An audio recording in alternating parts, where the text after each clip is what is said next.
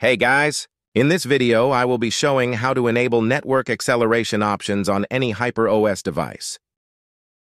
First download this app, link in description.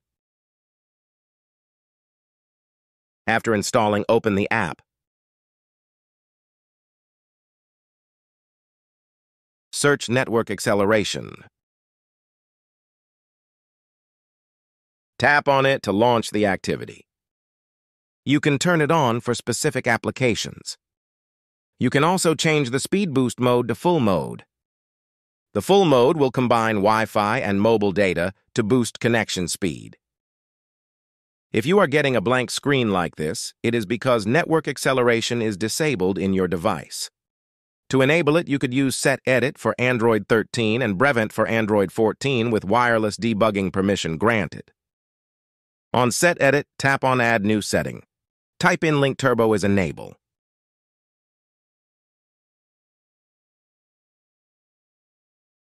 Now enter the value as 1. For Brevent, open it and go to the hamburger menu and tap on Exec command. Now type settings put System Link Turbo is Enable 1.